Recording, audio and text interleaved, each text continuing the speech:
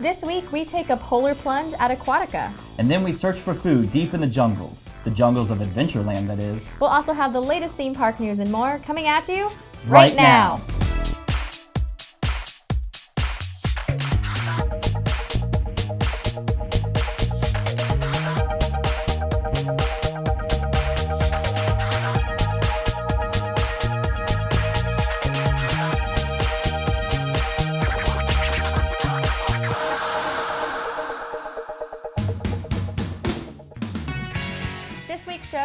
to you by MEI Travel, our preferred travel agent for Disney World, Universal, cruises, and all your vacation planning needs.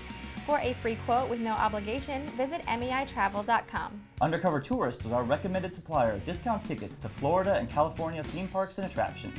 For the best deals and planning tips, go to undercovertourist.com or find them on Facebook and Twitter. Fun Spot America is Central Florida's only family owned theme park, offering two locations, Orlando and Kissimmee. Both theme parks provide safe, clean fun. For more information, visit fun-spot.com. Hello and welcome to this week's episode of the show. I'm Elisa. And I'm Banks. Wait. What? Just kidding. yeah. Clearly Banks is not here today. And Banks is sick today, so we wish you wish you well, buddy. Get well soon. Definitely. It's not nice to be sick, but we are happy to have Andy here hosting for the first time for the show. I'm very excited. Yeah. I've never been on this side of the, the desk. Neat. Now this isn't Banks's cup, right? We we've washed this. Since... Um, right. Yeah, you're safe. You're, you're good. I'm excited. Um, no, thank you so much. All right. Well, why don't we get going and start with some news in the queue?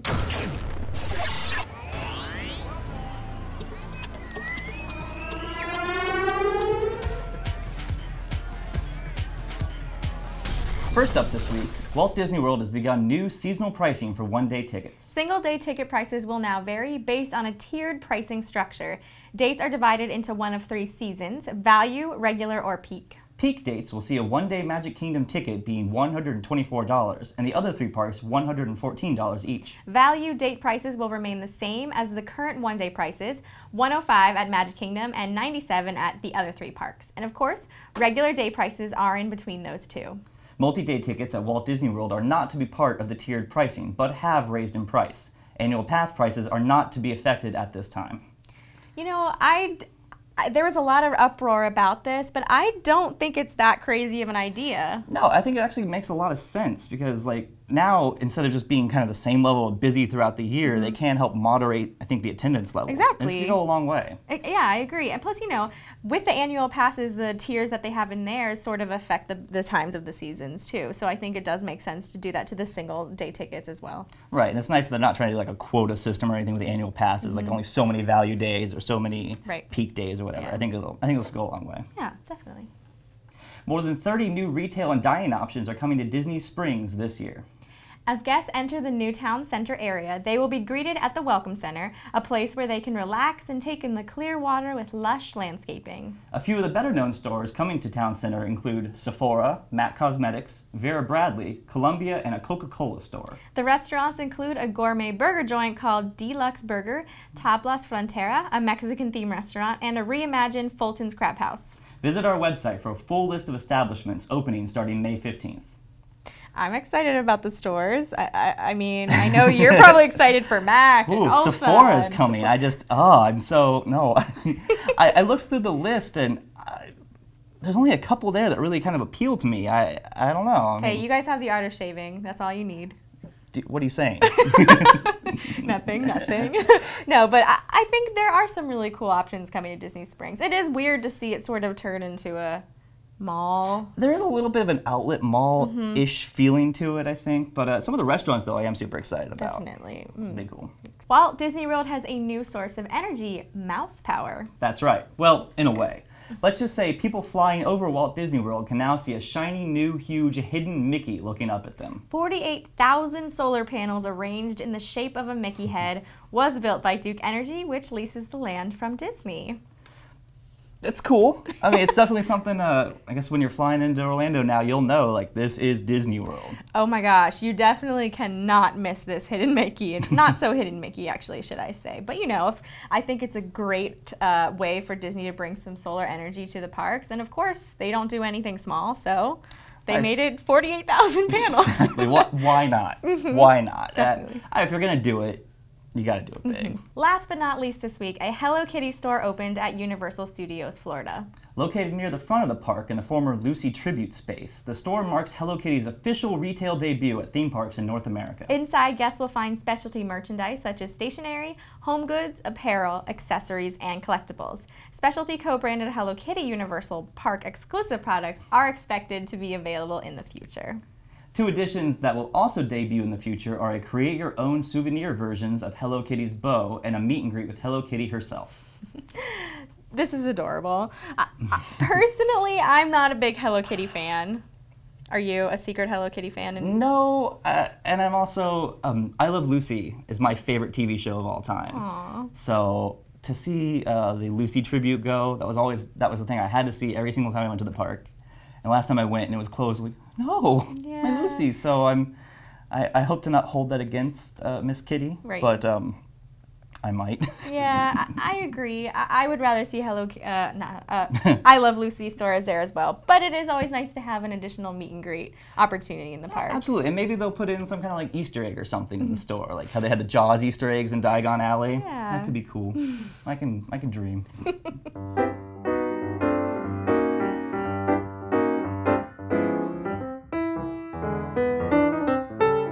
Hello, everybody. Welcome to Hidden Mickey of the Week. For this week, let's go to one of the Walt Disney World resorts, Animal Kingdom Lodge. A Mickey image is etched in the cement outside of the Mara restaurant. Go to the walkway leading to the pool, which is directly opposite the rear exit door from the restaurant. Near the end of this short walkway, and on the left side as you stroll toward the pool, you'll find this small hidden Mickey etched in the cement. Happy hunting!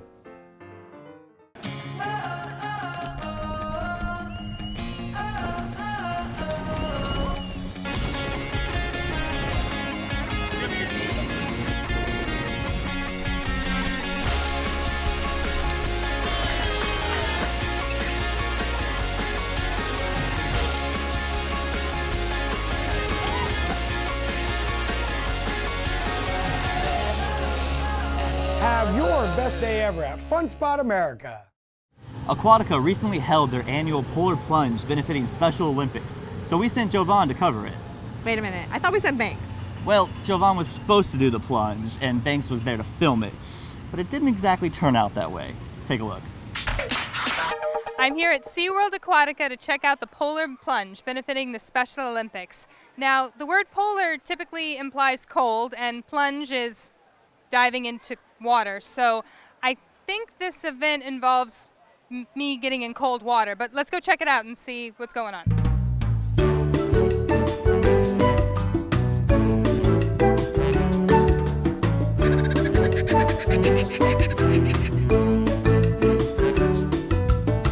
Tell us a little bit about your history with the Special Olympics Polar Plunge here.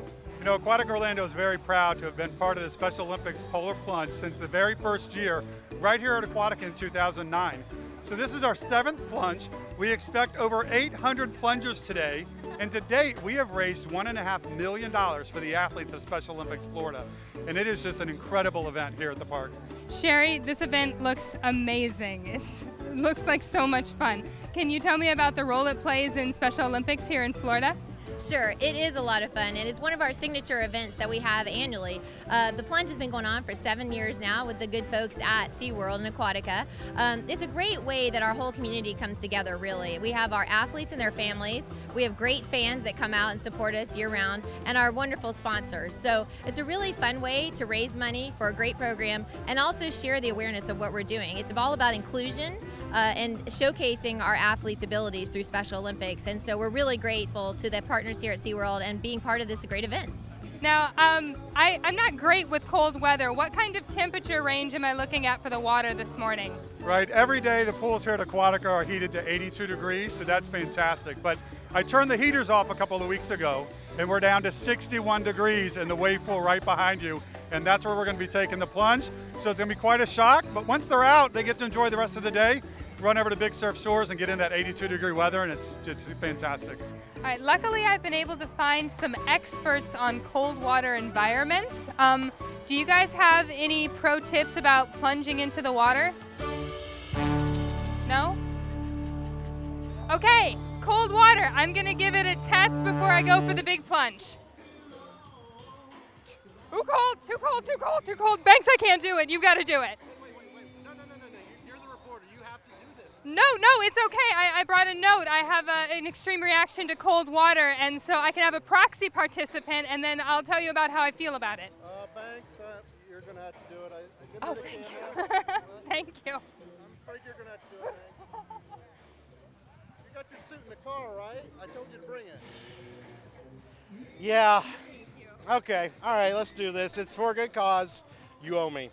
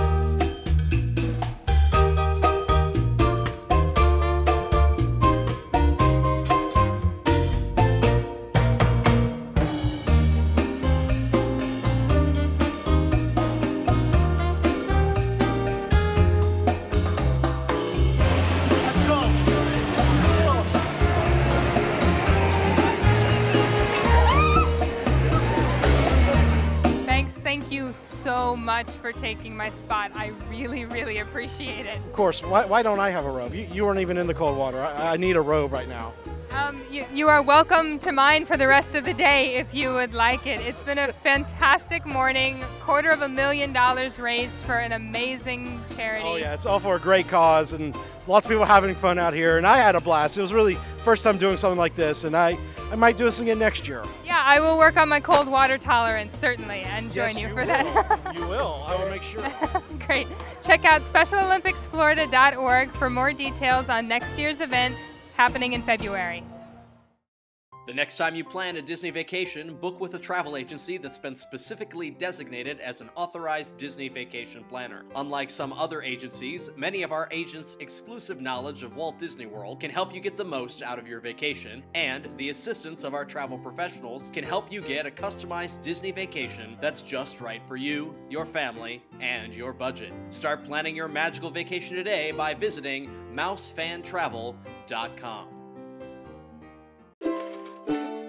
Skip the lines with undercover tourists, crowd calendars, touring plans, and mobile apps. Stop paying full price for your family vacation and visit Undercover Tours today. Our viewers who live miles and miles away probably don't know much about the new Jungle Cruise restaurant in Magic Kingdom. Don't you mean miles? No, no, Andy, I think you are in denial. You're taking my puns for granted. Oh, I see what you did there. No, no, and I am a big fan. Ah?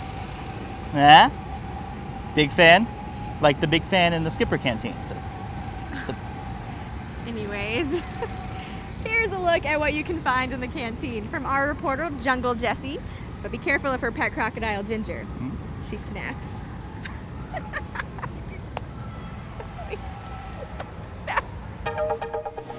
Jessie here inside the Magic Kingdom to check out the brand new restaurant, the Skipper Canteen. Let's go have an adventure.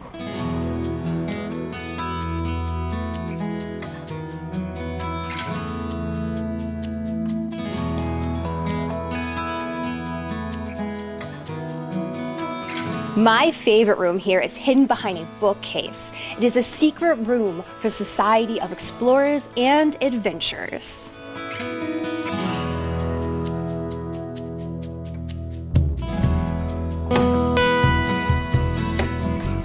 This is the third room you can dine in. This is the Falls Family Parlor. And in it, you're going to find a model of one of the Jungle Cruise boats.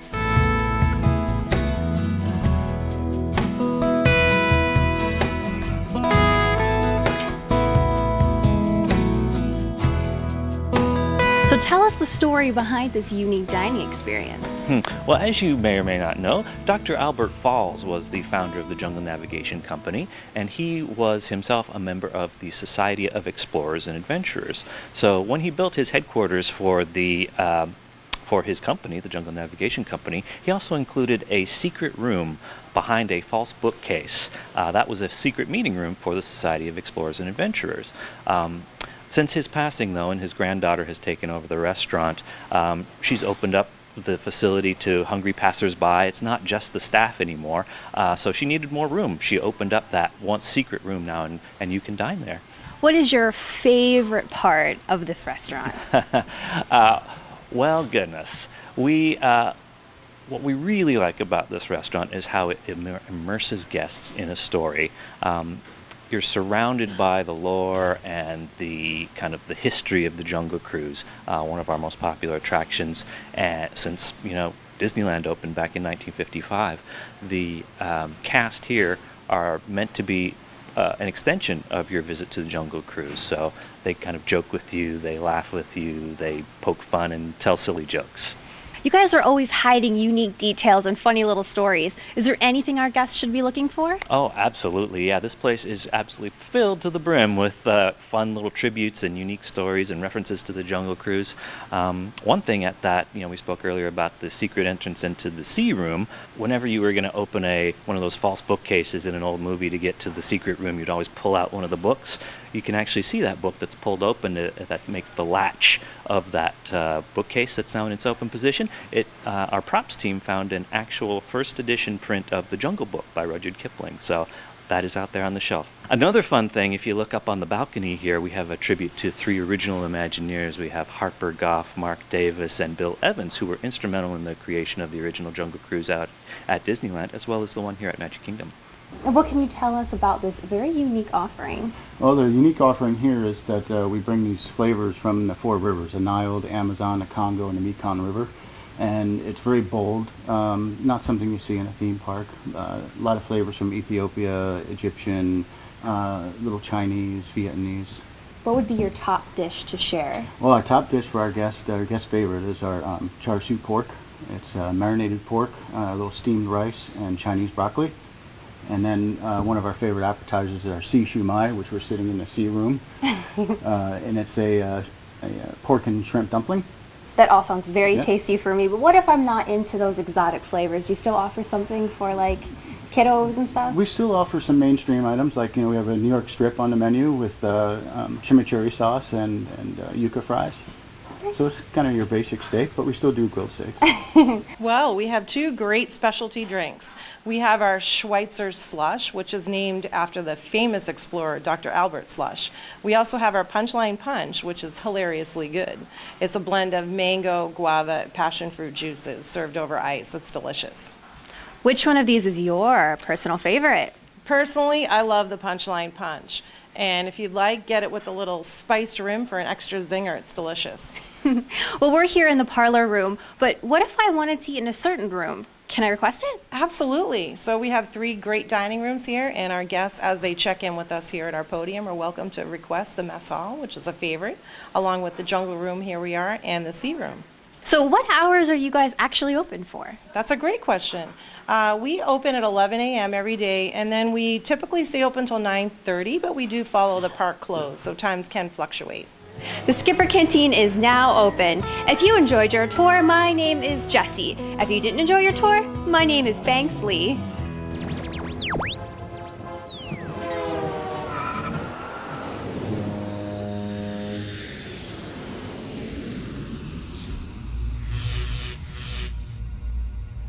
starting to warm up again here in Central Florida, so make sure you pack all the essentials for our weather. It's basically a crime to leave your bathing suit at home when visiting Florida. And with the Flower and Garden Festival at Epcot starting up again, don't forget your allergy medicine if you need it. Pollen and other allergies are hard to avoid during springtime in Orlando. Attractions Magazine is your guide to the world's greatest theme parks and attractions. Get the best information, photos, travel tips, rumors, interviews, and reviews from Attractions Magazine. Whether it's new, unique, big or small, or your theme park favorites, we cover it all in Attractions Magazine. Each issue features Central Florida's thrills and excitement delivered directly to your doorstep. Subscribe today at attractionsmagazine.com. And now for this week's calendar. The Orlando Home and Garden Show will be at the Orange County Convention Center Friday through Sunday. The Entertainment Designers Forum takes place this Friday night at the Orlando Rep. The Real Music Series at Busch Gardens concludes this week with Chubby Checker through Saturday, and their Food and Wine Festival begins Saturday with a performance by Gary Allan and Huey Lewis and the News on Sunday. Mardi Gras at Universal continues this weekend with Kool and the Gang on Saturday. SeaWorld Orlando's Bands, Brew and Barbecue features a performance by the Steve Miller Band on Saturday and Daughtry on Sunday. And finally, this year's Flower and Garden Festival at Epcot has begun, and this week's performance is by The Orchestra, tomorrow and Saturday. Subscribe to our calendar at attractionsmagazine.com to stay up to date on these events and more. This week's shout out goes to Kaylin Michelle Batten. Yes, we do do shout outs. Speaking of us doing shout outs, I have a couple shout outs myself. A big happy birthday to Kat Cressida, mm. who was the voice of the bride herself from the Haunted Ooh. Mansion. We hope you have a great birthday. And also, shout out to our Twitter account at Disney365. Thank you so much for saying hello. And now we want to thank MEI Travel, our preferred travel agent for cruises, Disney World, Universal, and all your other vacation planning needs. For a free quote with no obligation, visit MEItravel.com. And much thanks to Undercover Tourist, our recommended supplier of discount tickets to Orlando and California attractions. For more information, visit undercovertourist.com. And thanks to Fun Spot America, Central Florida's only family owned theme park. They provide safe, clean fun in Orlando and Kissimmee. Visit fun-spot.com for tickets and more information. If you enjoy our show, please support it by subscribing to our magazine through our website and our app or on the Nook. We also want to tell you about a deal we have with Theme Park Connection. If you spend $100 with them, you'll get a free copy of the magazine. And if you spend $250, you'll get a free one-year subscription. So, you did it. How do you how do you feel after your first co-hosting? I got this. You this got is this. Hey, Banks. If you need a vacation, a couple weeks, I got your back. Don't worry. yes, Don't worry. Andy is here, but we do hope you have a speedy recovery, Banks. Definitely. Yes. Please feel better soon, buddy. Absolutely. Thank you so much for joining us, and we hope you'll tune in again next week. Until then, visit your local attractions, try something new, stay safe, but most of all, have, Have fun. Secret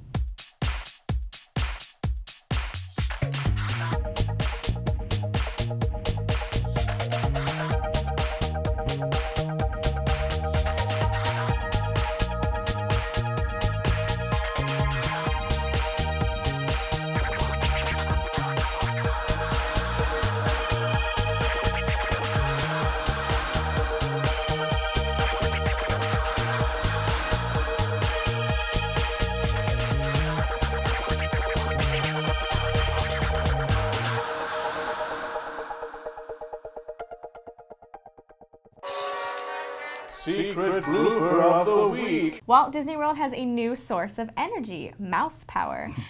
That's Let's- right. Let's do that again. Jessie here outside the Jungle Canteen, the Skipper Canteen, not the Jungle Canteen.